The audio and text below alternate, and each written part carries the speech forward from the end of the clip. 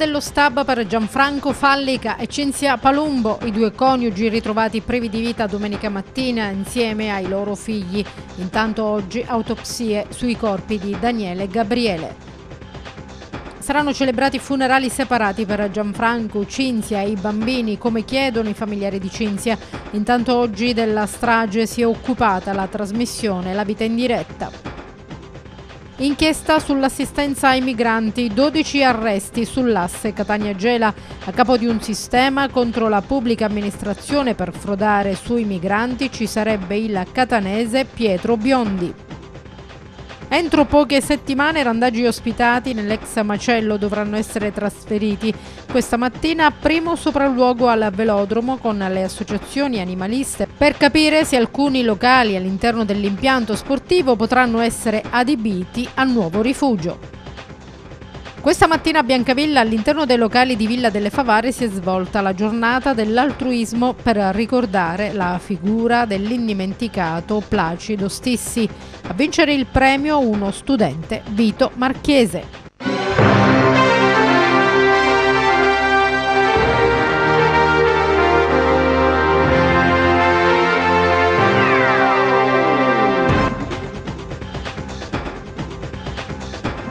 Buonasera e bentrovati per questa nuova edizione del nostro telegiornale che apriamo ancora una volta con il caso di Via della Libertà, con la strage che è stata scoperta domenica scorsa in Via della Libertà.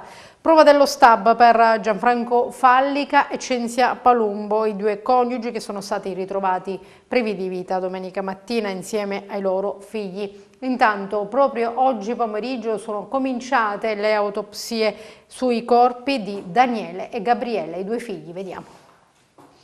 È il giorno delle autopsie per Daniele e Gabriele, due bambini di 6 e 4 anni uccisi dal papà Gianfranco Fallica nella notte tra venerdì e sabato scorsi nella loro abitazione di Via della Libertà al Civico 25. Il dottore Giuseppe Ragazzi ha cominciato le autopsie sui bambini nel pomeriggio di oggi. Domani l'autopsia sarà effettuata sulle salme dei genitori dei bambini, la loro mamma Cinzia Palumbo e sullo stesso Gianfranco Fallica che dopo aver sterminato la sua famiglia si è ucciso. Gli esami che verranno fuori dall'autopsia sono fondamentali per mettere i punti fermi in quella che al momento resta una storia con molti contorni oscuri.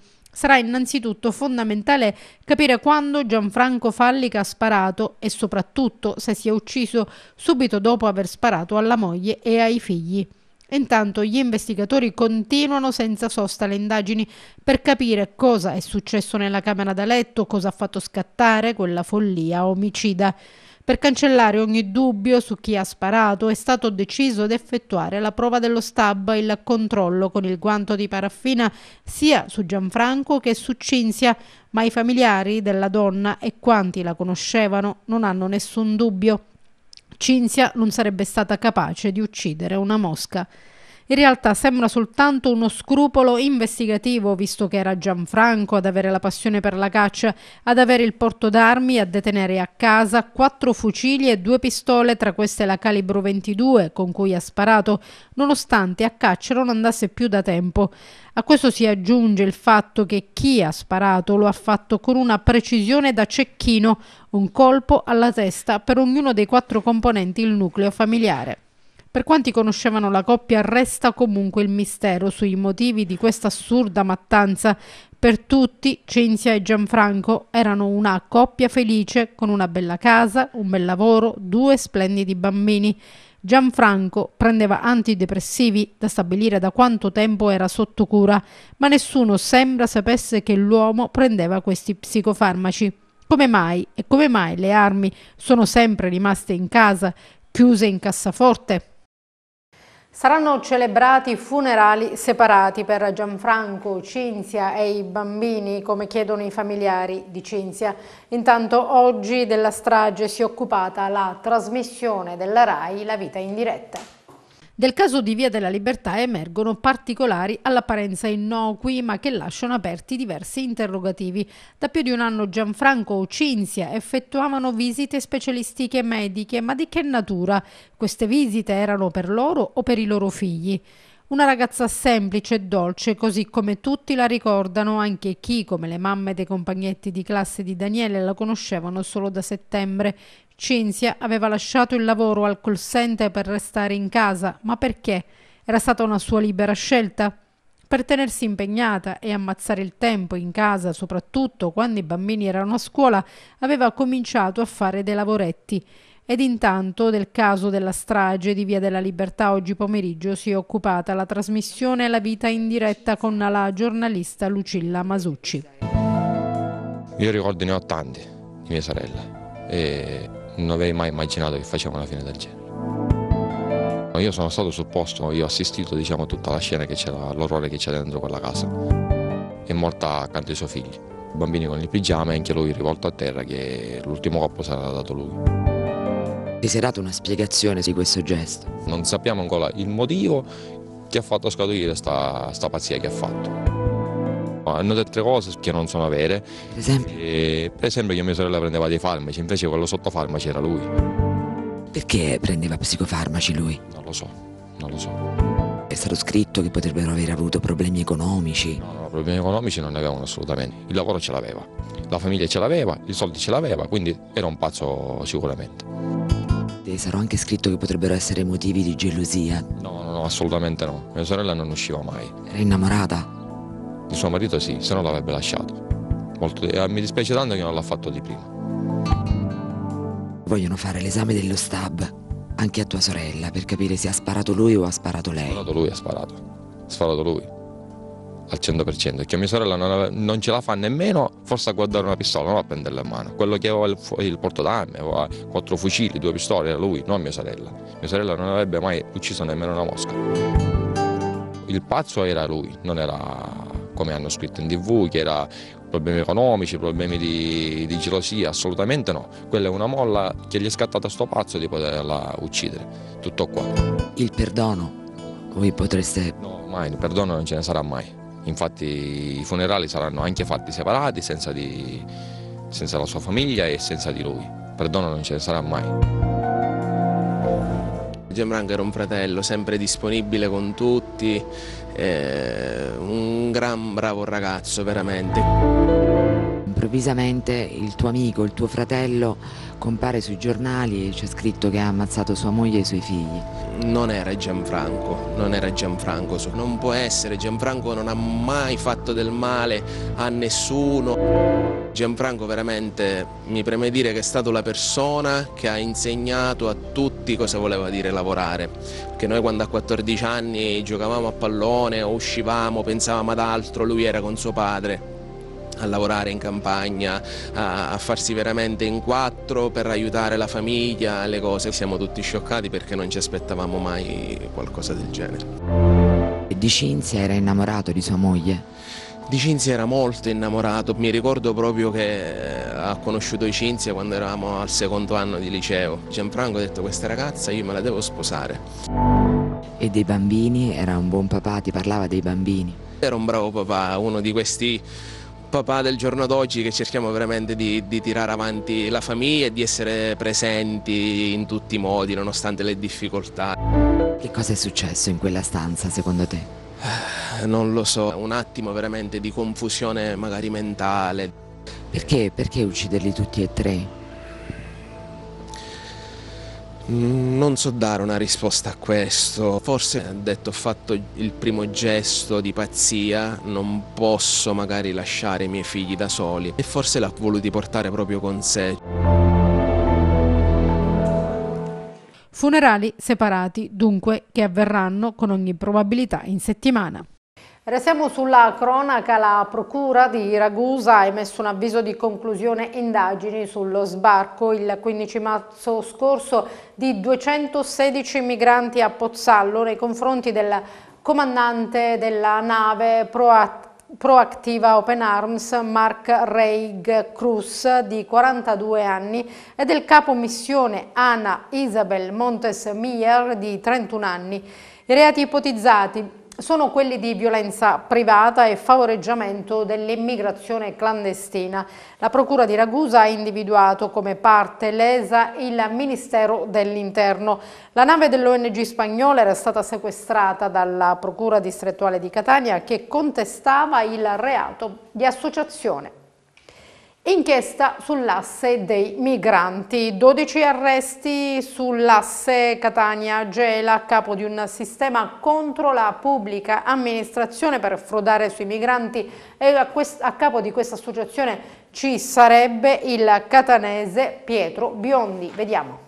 Il business sui migranti e gli intrecci con funzionari della pubblica amministrazione al centro di una operazione della Procura distrettuale di Catania collegata con la Procura di Gela che è sfociata nell'arresto di 12 persone. Le accuse vanno dall'associazione finalizzata alla realizzazione di vari reati contro la pubblica amministrazione, ovvero corruzione per atti contrari ai doveri d'ufficio, frode nelle pubbliche forniture, nonché estorsione e maltrattamenti. A capo del sistema viene viene indicato Pietro Bionti, 63 anni, di Catania, con la gelese Gemma Iapichello di 42. I due si trovano nel carcere catanese di Piazza Lanza. Per le altre 10 persone coinvolte nell'inchiesta, tra cui due funzionari IMSS di Catania e Sondrio, sono stati disposti gli arresti domiciliari. Figura centrale dell'inchiesta è dunque Pietro Biondi. Come si ricorderà, alcuni anni fa il suo nome venne legato da Dano ad un progetto di accoglienza per minori minori nei locali della Fondazione San Giorgio Gualtieri,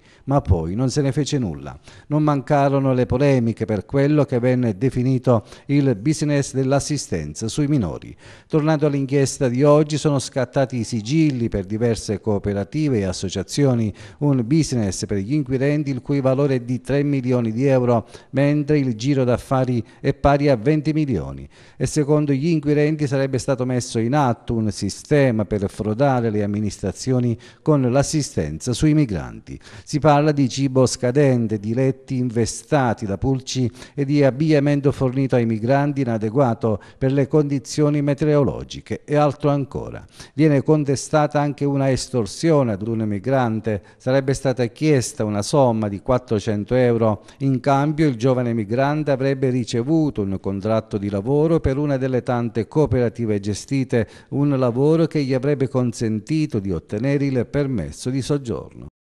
E ancora la pagina di cronaca, carabinieri della ROS e del comando provinciale di Trapani coordinati dalla DDA di Palermo hanno effettuato perquisizioni nei confronti di 25 indagati ritenuti a vario titolo fiancheggiatori e favoreggiatori della latitanza di Matteo Messina Denaro. Fermato un esponente di spicco di Cosa Nostra di Mazzara del Vallo, indagato per associazione mafiosa, trasferimento fraudolento di valori e violazione degli obblighi inerenti alla sorveglianza speciale. L'attività è finalizzata alla cattura di Matteo Messina Denaro.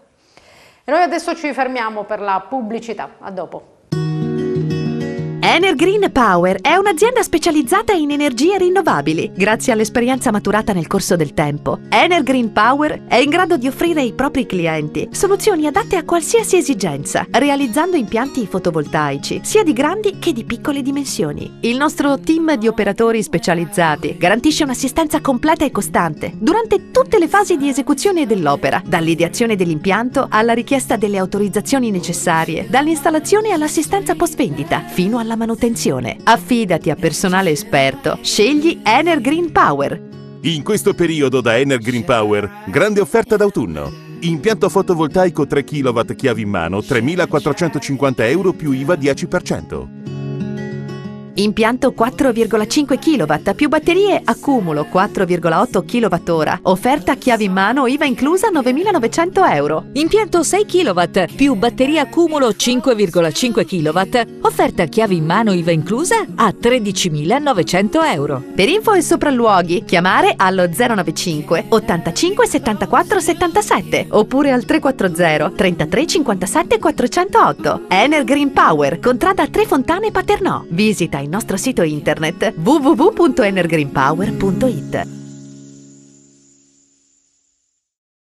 Rientriamo in studio per eh, parlare di randagismo a Paternò. Entro poche settimane i randaggi che sono ospitati all'ex macello dovranno essere trasferiti per dei lavori che dovranno proprio essere effettuati all'interno della struttura di via Fonte Maimonide. Questa mattina c'è stato un primo sopralluogo con il sindaco e le associazioni dei randagiste perché si guarda al velodromo come ipotesi per capire se i locali possono ospitare i randaggi. Vediamo. Se fosse un film, il titolo potrebbe essere 20 cuccioli da salvare.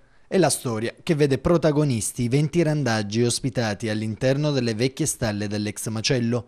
La struttura di via Fonte Maimonide infatti entro il primo trimestre del prossimo anno sarà oggetto di nuovi lavori di ristrutturazione legati al maxi finanziamento da 600.000 euro ottenuto dal comune di Paternò. Così i cani finora assistiti dai volontari delle associazioni animaliste dovranno trovare una nuova collocazione.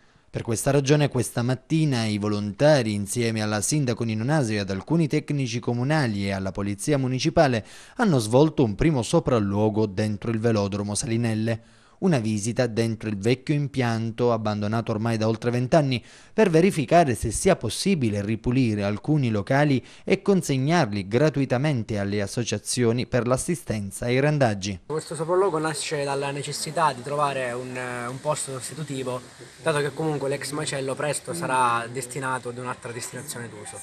Ragione per cui niente, con l'amministrazione è iniziato da pochissimo un dialogo affinché si possa trovare un posto che comunque sia, sia in qualche modo raggiungibile in maniera comunque eh, senza problemi, senza particolari problematiche dai, dai volontari, ma soprattutto sia sistemabile o comunque sia configurabile nel, sia economicamente che a livello di tempistiche, perché comunque sia, comunque sia molto probabilmente il, la liberazione dei locali siti presso l'ex macello dovrà avvenire proprio all'anno nuovo, quindi entro il mese di gennaio.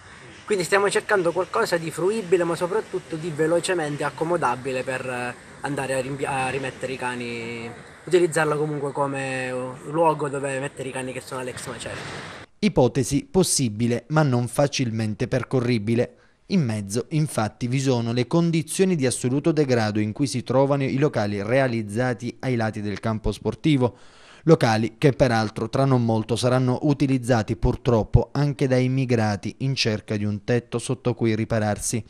C'è da dire che il sopralluogo di questa mattina rappresenta soltanto il primo passo concreto verso la risoluzione di un problema per cui dovrà essere trovata un'alternativa.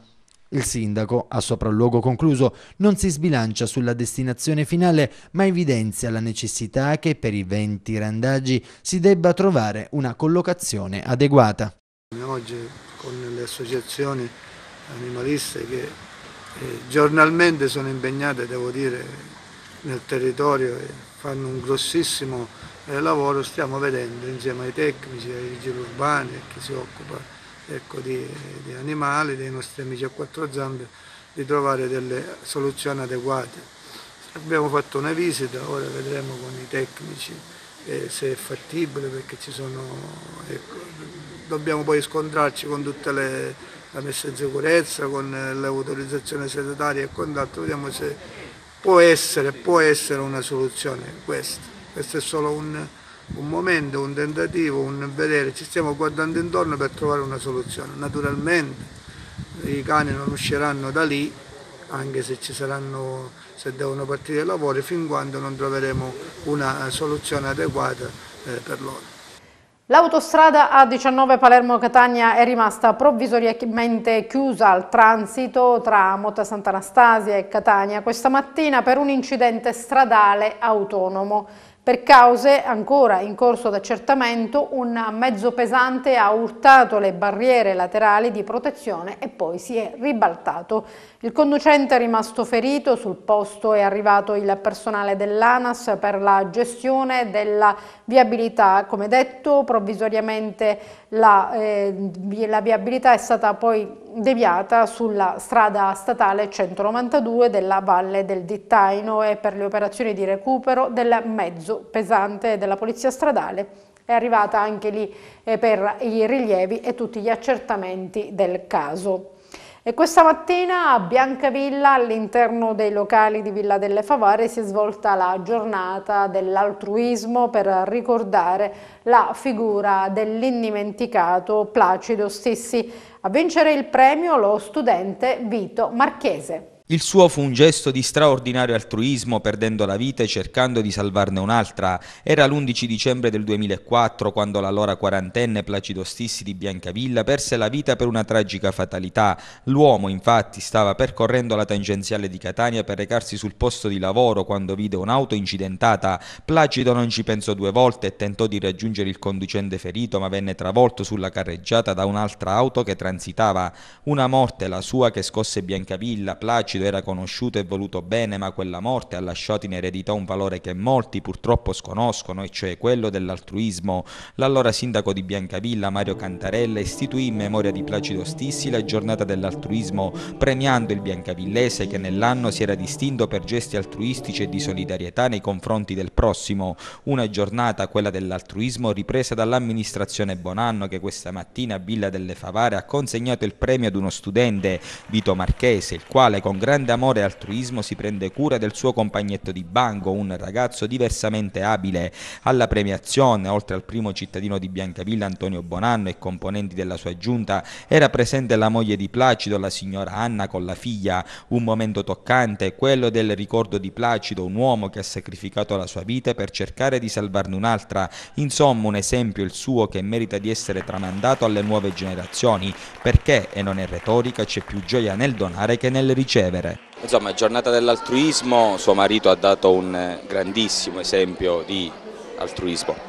Sì, mio marito ha dato un esempio grandissimo eh, che oggi non penso che tutti lo farebbero, un gesto che ha fatto lui, non pensando quello che poteva succedere, eh, ha messo la propria vita per salvare a una persona e lasciando i suoi figli. Oh, questo è l'esempio più bello ed è anche giusto far conoscere questa vicenda. Sì, e per fare conoscere, infatti anche oggi sono invitati i bambini della scuola per far capire e far conoscere cosa significa aiutare il prossimo. E oggi per oggi questi valori si perdono, non si capisce più perché c'è troppa violenza. E con un eh, ricordo, con una manifestazione di questa al nome di mio marito, sperando che questi bambini possano capire un poco di più cosa significa aiutare il prossimo. Con il sindaco di Biancavilla Antonio Bonanno giusto e doveroso ricordare la figura di Placido Ostissi, esempio veramente di grande altruismo. Era un dovere morale della nostra amministrazione, della nostra comunità ripristinare questo premio nella memoria di Placido Stissi che è stato indubbiamente e sicuramente un eroe della nostra comunità. Oggi il suo ricordo deve essere tramandato alle nuove generazioni, quindi questo premio va in quest'ottica. Placido Stissi, di cui tutti quanti ne ricordiamo, io personalmente ne ricordo la sua sincerità, il suo altruismo, la sua autentica allegria che era un tratto predominante del suo carattere, oggi va trasmesso alle nuove generazioni e questo premio serve anche a questo, per premiare quelle che sono le buone azioni, che sono veramente tanti, dei nostri cittadini e della nostra comunità biancavillese. Abbiamo voluto indirizzare eh, il premio proprio agli alunni di una fascia media d'età proprio per incidere eh, sulle loro coscienze eh, e per fare in modo che attraverso l'esempio, attraverso la sensibilizzazione e la riflessione possano trarne spunti positivi. Eh, l'alunno Vito Marchese si è distinto eh, per mh, aver dato, eh, prestato attenzione e cura nei confronti di un compagnetto di banco che necessita di cure e attenzioni speciali e, e ehm, il suo gesto eh, quotidiano di altruismo, di dedizione, di comprensione e aiuto eh, si manifesta non solo e si consuma non solo tra i banchi di scuola ma anche fuori il tempo scuola. Mh, qualche mese fa eh, l'alunno eh, ha avuto una frattura al piede e eh, lui se n'è preso eh, cura accudendolo anche fuori dal contesto scolastico con la supervisione dei genitori, quindi abbiamo ritenuto eh, questo gesto degno di essere premiato. E con questo servizio è tutto, si chiude questo spazio con le informazioni di Chuck News, vi auguro una buona serata.